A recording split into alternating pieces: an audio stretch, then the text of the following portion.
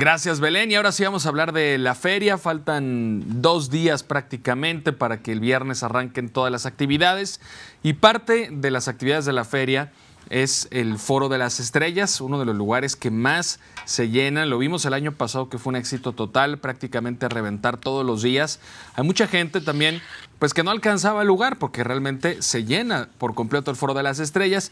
Ante esta circunstancia ya dijeron las autoridades que para el 2025 se va a analizar otro espacio o ampliar el que se tiene, pero para este 2024 ya encontraron una manera de que la gente pueda disfrutar de los conciertos, aunque no estén dentro de esta zona de la velaria del Foro de las Estrellas. Vamos a ver cuál es la opción que ofrece el patronato, que ofrece el gobierno de Aguascalientes para este 2024.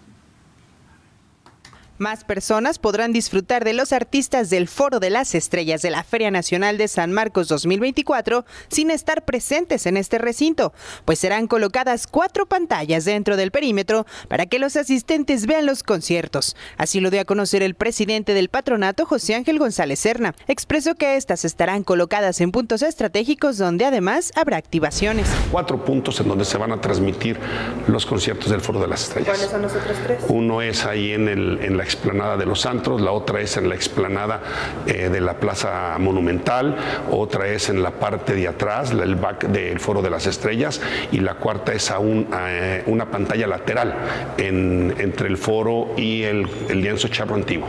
Son los cuatro puntos.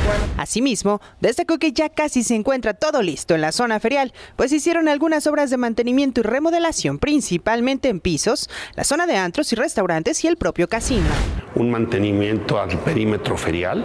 En el perímetro ferial, la explanada que le llevamos nosotros, la explanada de las tamboras, donde están los restaurantes, y la explanada de la Plaza Monumental, en todo lo que fue el piso, se fue eh, ubicando eh, eh, las áreas que estaban muy deterioradas y se estuvieron arreglando, ¿no? Este, poniendo esas partes nuevas, igual que el andador J. Pani.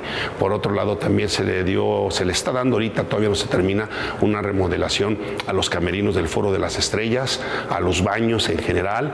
Eh, se hizo una obra importante en el casino, en el casino de la feria. Anabel Cordero, va más noticias.